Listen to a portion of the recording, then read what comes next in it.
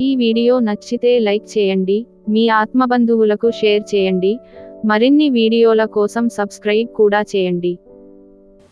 భక్తి అనేది ఒక పాత్ర నుండి వచ్చే నూనె ధారల నిరంతరాయంగా ఉండాలి.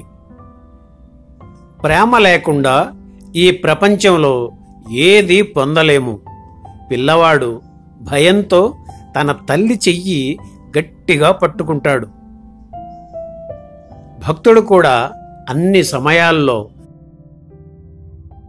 అన్ని పరిస్థితులలో అలసిపోకుండా లోకం చేసే హేళన విమర్శలను పట్టించుకోకుండా భగవంతుని గట్టిగా పట్టుకుని ఉండాలి.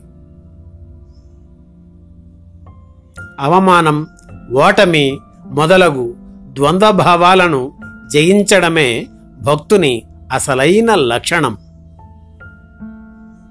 ఇది రావాలంటే చిన్నతనంలోనే భక్తి జ్ఞానం రావాలి తెలుసుకోవాలి. దానికి శ్రద్ధ ఉంటే తిరుగులేని లక్ష్యాన్ని చేరగలరు. ఈ రకమైన భక్తికి అద్భుతమైన ఉదాహరణ ప్రహ్లాదుడు. తనను ఎన్ని కష్టాలు పెట్టినను శ్రీహరినామాన్ని స్మరించుట మానలేదు. అతని పాదములు విడువలేదు. ఇటువంటి భక్తి విశ్వాసాలనే అలవర్చుకోవాలి. అదే దైవాన్ని మీ చెంతకు రప్పించేలా చేస్తుంది. మిమ్ములను దైవం చెంతకు చేరేలా సహకరిస్తుంది. భగవంతునికి ఒకరి పట్ల ఇష్టము మరొకరి పట్ల ద్వేషము అనేది లేదు. అయితే ఎవరి భావములకు తగిన ఫలితం వారికి లభిస్తుంది. ఒక పర్యాయము పురంధరదాసు చెప్పారు. కృష్ణ నీవు కంసునికి యమునిగా కనిపించావు. అతని తండ్రికి దేవుని గోచరించావు. హిరణ్యకశిపునికి యమునిగా కనిపించావు. ప్రహ్లాదునికి దేవునిగా గోచరించావు. రావణునికి యమునిగా కనిపించావు. అతని తమ్ముడైన విభీషణునికి రామునిగా కనిపించావు.